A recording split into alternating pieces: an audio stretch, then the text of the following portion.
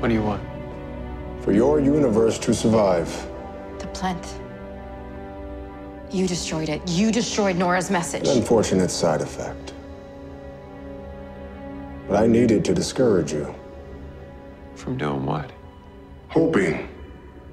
Your determination is boundless, Flash. It is one of your greatest qualities, but you cannot avoid the coming crisis. Barry has five years before he vanishes. No longer. December 10th, 2019. On that day, he will answer the call and make the ultimate sacrifice. Soon. This world will fight for the fate of all the known universes. I'm not gonna leave my family. There has to be a way to stop what's coming. I am sorry. But events have been set into motion that you cannot possibly comprehend. I don't need to understand them. Just tell me what I can do. To survive, you can't.